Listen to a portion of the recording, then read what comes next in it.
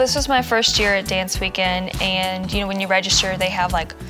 a lot of different interesting classes that you can take, like Scottish dancing and hip hop and German and French, like all these like interesting classes and you you not only learn the dance moves, but you meet someone else that you've never met before and you have to like do a dance with them and it's a very like great place to step out of your comfort zone and learn a lot of new things and you do a lot of dances like with partners and then you like start talking to each other and then you know you those people turn out to be like some of the friends that you have for the rest of your life.